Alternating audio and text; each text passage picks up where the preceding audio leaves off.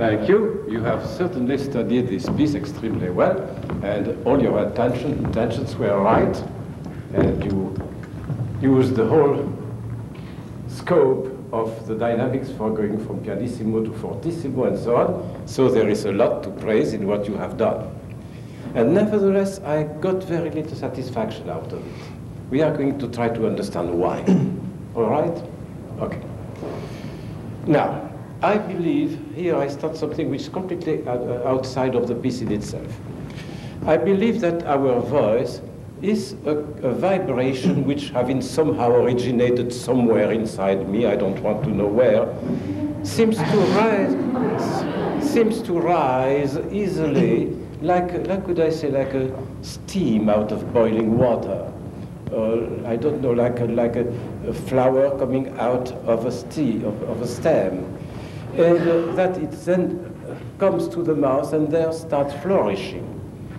By the way, there is a very uh, adequate, I believe, uh, distinction to be made, and this is to be found in uh, the first pages of the only book we have about Caruso's real way of singing, a book written by his teacher, Dr. Marafioti, who was not only his, his doctor, but also his partner at poker and so on. Uh, and the first chapter says, start with those words. Do you know the book by chance? No. The, the, it says, the sound of our voice is made in the larynx.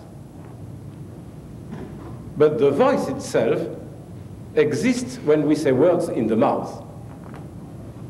The sound starts somewhere else, but the voice is what is ringing in the words in the mouth.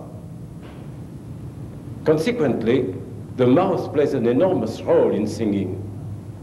I do not know whether any of us has said or ideas that the voice is here or here or there or here. I have no idea. But the voice is something which happens in the mouth and which is inside the words you say.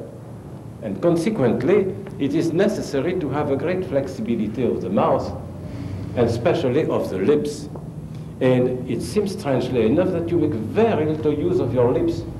You refrain from using them you settle in this position that you have now, smiling at me, and then you sing your song through that, but for the very high notes.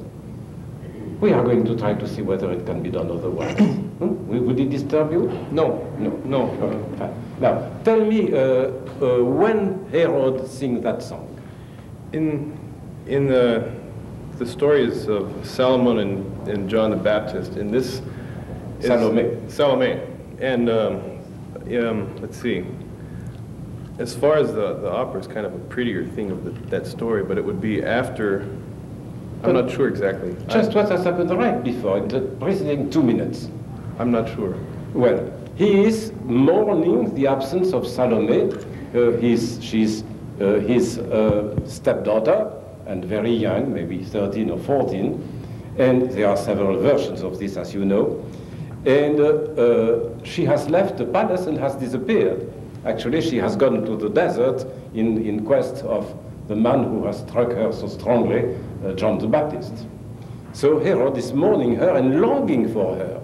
He is in his palace. You can picture him in an immense sofa with 200 uh, pillows and uh, cassolettes, uh, uh, perfumes uh, in the air, fuming on the side. You see, smoking in the side. Okay.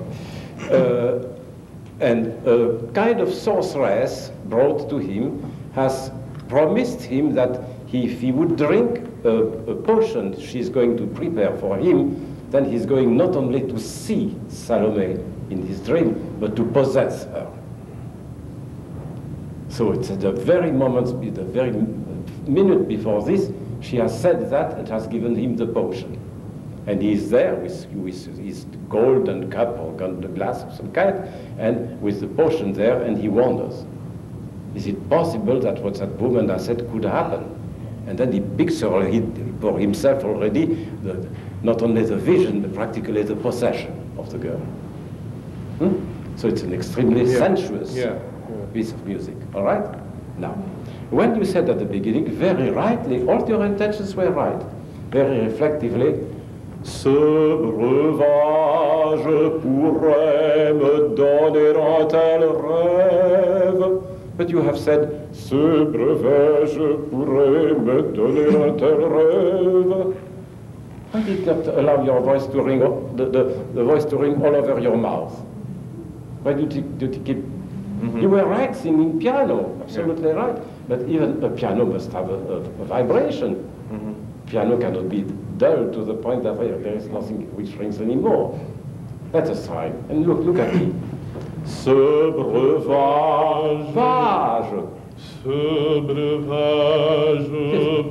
Now, you are you are a dentist. Say ah. Ah. Sing.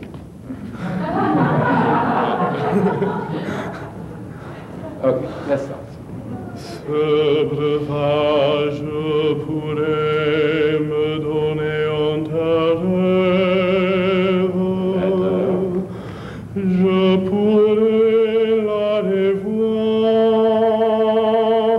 The voice is something, it is, it is a, I said before, it's like a steam. It's something which escapes. Why do you put a lid on it? Je pourrais la revoir. It's very natural. There is nothing to do. Let it be. Je pourrais la revoir. Je pourrais la revoir. But not here. La revoir, la revoir. Is in the mouth. Okay, use your voice. Okay, from the start. You can do it very well.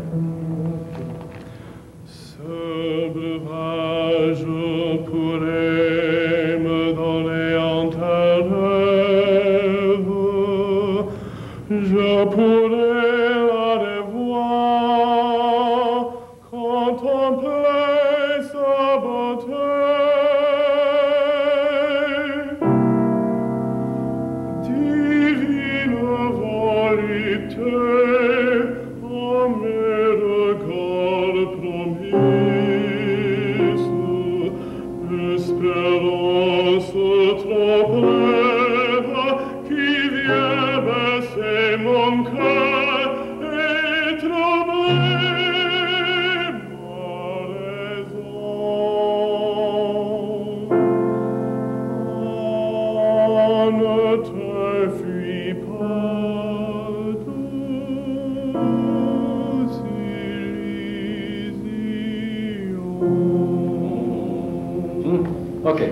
that I disturb you because you don't do it as usual, then you cannot control it. Huh? Okay?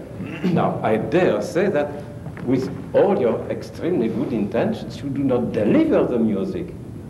Now you have delivered the forte, but not everything else. Yeah.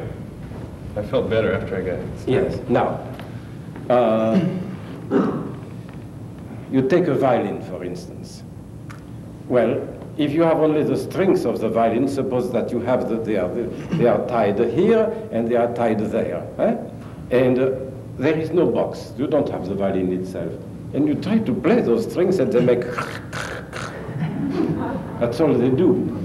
But if you put the violin in the back of them, then the vibration of those strings invade the whole box and then they sound and make music. If you think to have at your disposal all the, the, the, the natural strings that we have, and you use them in some notes extremely well, but then all the time you try to play without the box. And for us, the box is all the opening inside our mouth, and the, the, the, the, head and the skull. Maybe it's not generally known, but I have been told with the most extreme seriousness by a, a rather famous surgeon in the East that the most uh, resound, resounding, resonant part of our body is the brain. And of course, that gets the tenors of the hook. But, uh, but, but, it's true. Uh, the, the, you must let your voice ascend and invade everything and make space for it in your mouth. And now, how do you conceive a vowel ah? I conceive it like, like a kind of egg in my mouth. Ah. Do you think, uh? At first I thought you were. Yeah. I thought I, at first I thought you were British. Okay. the ventriloquist here. Singing with my mouth closed still. And can you do this with your mouth? Ouais. Yes. Hmm? Let's try it again. oh no, let's, let's start with V. V, look. Vision fugitive. The voice is here and resounds there, but it is here and resounds.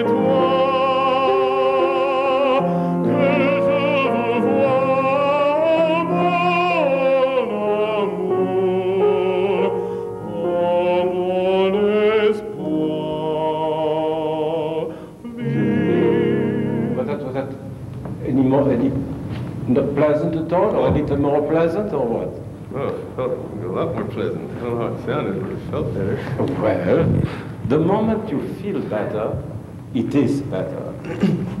when the voice is something you have to labor at, but it is something you constantly control, wondering, is that enough of this and, uh, and uh, not too much of that, and so on, you are unhappy and you don't sing well. There are a few basic things that all of us do naturally, and one of them is the posture, as I tried to uh, show to our friend a, while ago. You have a very good posture, you carry yourself extremely well, but suddenly you, you take a very, very strong brakes and put those brakes, strength, you cramp them on the voice. Can't you let all that go?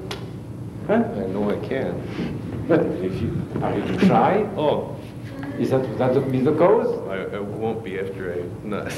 Hmm? yeah. You don't have to be shy. Hmm? By the way, it will pass. Yeah. I was an I was an extremely shy youngster, and you see what happened. Hmm? Okay, now, I, now I would like to have the beginning, and then I show you just. I, I don't have at all the voice for singing anything, but may I have the beginning? There is a tempestuous entrance.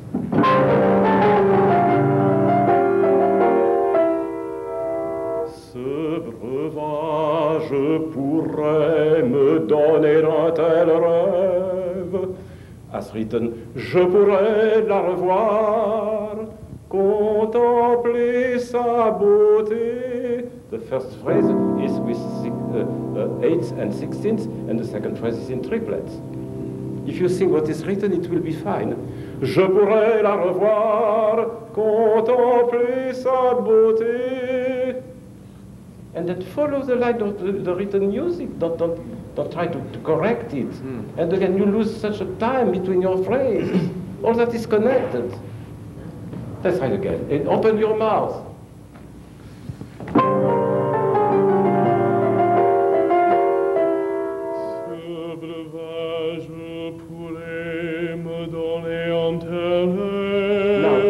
Don't you know that in French we roll the R to Oh, sing yeah. it?